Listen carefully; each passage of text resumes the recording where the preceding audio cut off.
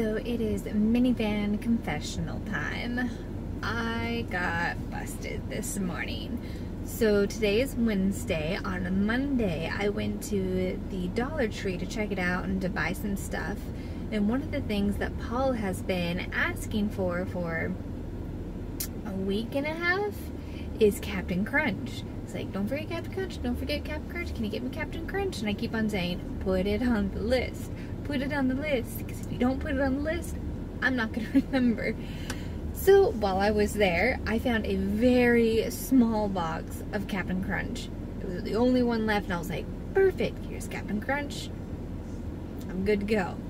So Sunday night, it was a really rough night for me.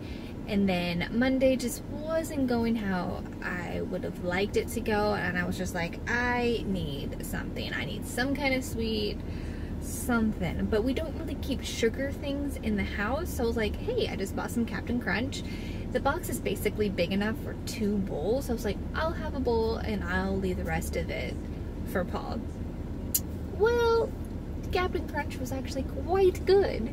So I proceeded the next day, have a second bowl, but Paul never saw the box and I knew that he didn't see the box yet, so I hid it and I stuffed it as far down into the garbage can as I possibly could.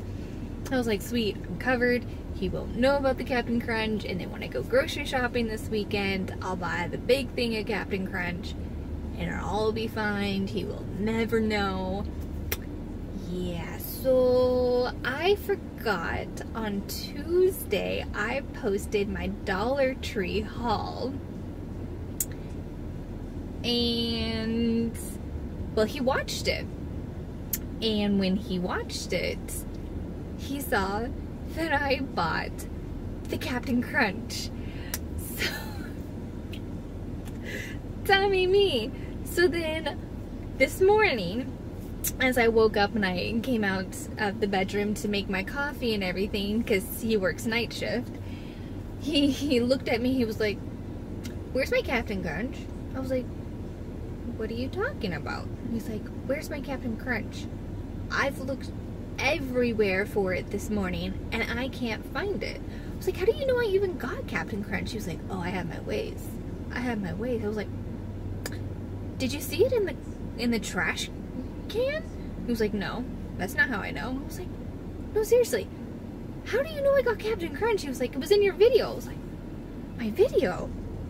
What video? Because I know I have it in a vlog that I um, just did and everything. I was like, well, that one shouldn't be public yet. And everything was like, no, it wasn't in a vlog. I was like, which one? So he pulled it up, and first thing that popped up was the Dollar Tree haul video. And I was like, oh, oh no. So. I got a dirty look from him this morning, so I'm gonna need to make sure I buy a big thing of Captain Crunch and maybe some Sour Patch Kids to give to him to say, sorry, here you go, here's your Captain Crunch and some Sour Patch Kids. I, I love you. Uh, yeah, so that is my minivan confessional of this week. Stay tuned to next time. See you then.